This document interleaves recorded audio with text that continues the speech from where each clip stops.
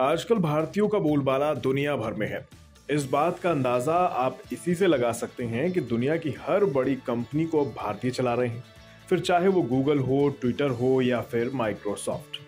अब इन बड़े नामों के साथ एक और दिग्गज इंटरनेशनल कंपनी का नाम जुड़ गया है, जिसने एक भारतीय को अपना सीईओ चुन लिया है। हम बात कर रहे हैं स्टारबक्स की। स्टारबक्स की कहानी भारत से पहले भी थोड़ी सी जुड़ी हुई है। तो आज आपको वही बताएँगे। पहले, कौन है वो स्टारबक्स के नए सीईओ चलिए जानते हैं। स्टारबक्स ने भारतीय मूल के लक्ष्मण नरसिम्हन को अपना नया चीफ एग्जीक्यूटिव ऑफिसर चुना है। लक्ष्मण नरसिम्हन 1 अक्टूबर 2022 से स्टारबक्स में शामिल हो जाएँगे और 1 अप्रैल 2023 तक स्टारबक्स के इंट्रिम सीईओ हार्वर्ड स्लुज के साथ मिलकर काम करेंगे। इस समय के बाद लक्ष्मण अपना सीईओ रोल अपनाएँगे और कंपनी के बोर्ड में शामिल हो जाएँगे। आपको बता दें, लक्ष्मण नरसिम्हन को लंदन से सिएटल आना होगा, केवल स्टारबक्स में अपने कार्यभार को संभालने और काम को शुरू करने के लिए। क्योंकि स्टारबक्स सिएटल बेस्ड कंपनी है। काम के स्तर पर देखें तो लक्ष्मण को कई बड़ी कंपनियों में बड़े पद संभालने का अनुभव भी रह चुका है। जैसे लक्ष्मण नरसिम्हन लंबे समय तक पेप्सिको में ग्लोबल चीफ कमर्शियल ऑफिसर के तौर पर काम कर चुके हैं। इसके अलावा सितंबर 2019 में रिकेट को सीईओ के तौर पर ज्वाइन किया था उन्होंने और कोरोना महामारी के दौरान उन्होंने कंपनी को काफ़ी अच्छे से गाइड भी किया था। जानकारी के अनुसार कंपनी में उनको बतौर सीईओ करीब 10 करोड़ सैंतीस लाख रुपए सालाना का वेतन मिलेगा। अब तक स्टारबक्स की कमान हॉवर्ड स्लुज संभाल रहे थे। उनके हाथ थी ये कमान सुलुज लंबे समय तक स्टारबक्स के सीईओ रहे। इन्होंने 1987 में स्टारबक्स को खरीदने के बाद इसे आगे बढ़ाया।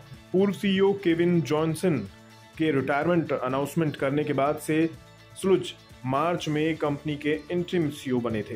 हालाँकि सुलुज नरसिम्हन के पदभार संभालने के बाद भी कंपनी के बोर्ड में शामिल रहेंगे।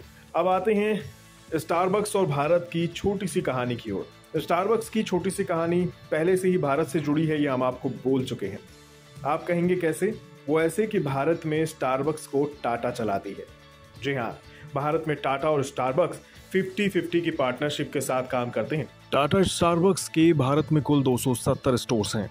दोनों के इस जॉइंट वेंचर को टाटा स्टारबक्स लिमिटेड के नाम से जाना जाता है।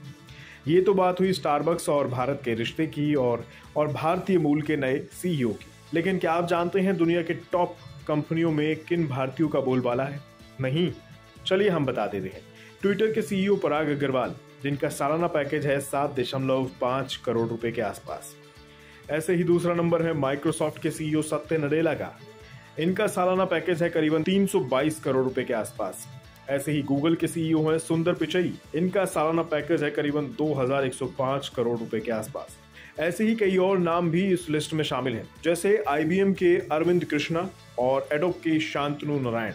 नाम और भी बहुत हैं इस लिस्ट में। लेकिन फ़िलहाल इतना ही। ये हैं वो लोग जो विदेश में रहकर भारत का नाम ऊँचा कर रहे हैं। अब इस लिस्ट में लक्ष्मण नरसिम्हन का नाम भी जुड़ गया है, जो पहले भी अपनी सेवाएँ विदेशी कंपनियों में दे चुके हैं, लेकिन स्टारबक्स के साथ जुड़कर उन्होंने भारत का नाम ऊँचा कर दिया है।